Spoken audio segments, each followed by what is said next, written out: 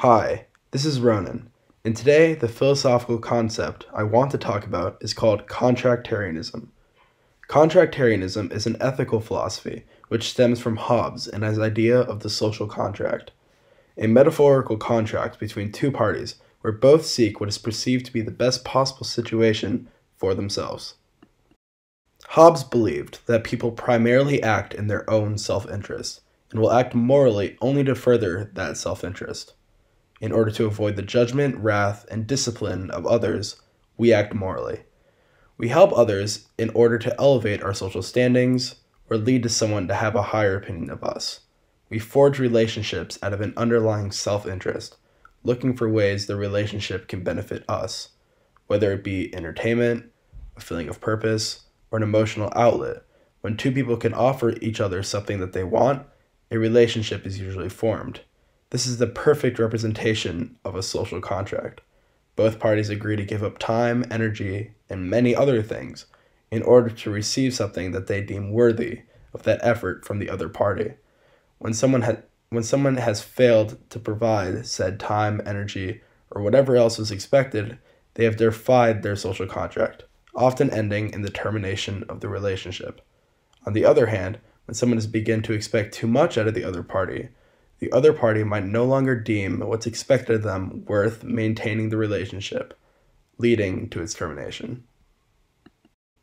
And although it might be hard to think of all the relationships you've formed being out of self interest, it's important to note that oftentimes one of the things we yearn for in a relationship is an emotional connection. It's not all cold and clinical.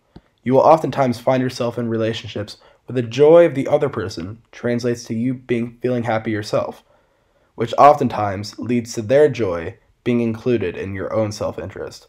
To put it simply, them being happy leads to you feeling happy. We act in a way we feel will maximize our own happiness due to our self interest. Therefore, we will oftentimes make the other person's happiness a priority due to that same self interest.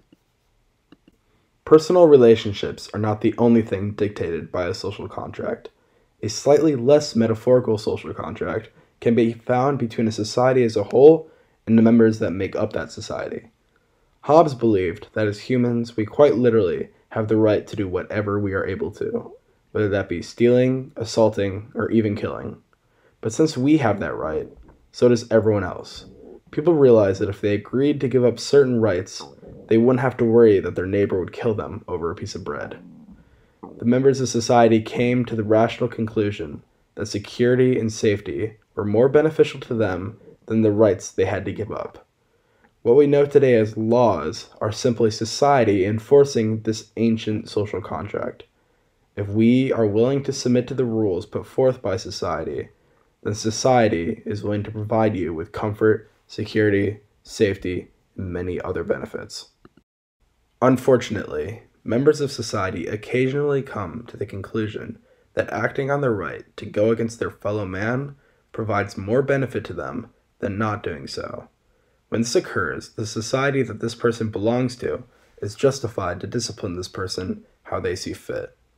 For in a social contract, there are usually expectations for discipline if said contract is breached. In an ideal society, these disciplinary expectations are clearly stated Therefore, if a person decides that their own self interest dictates breaching a social contract, they understand the risk of being exposed and the intensity of discipline that they would receive.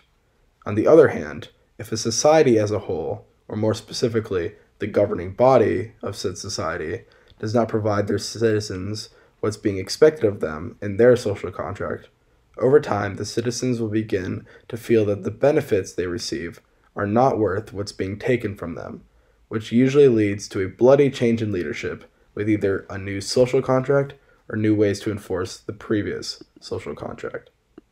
Overall, contractarianism is the ethical philosophy that states that morality is an extension of our self interest.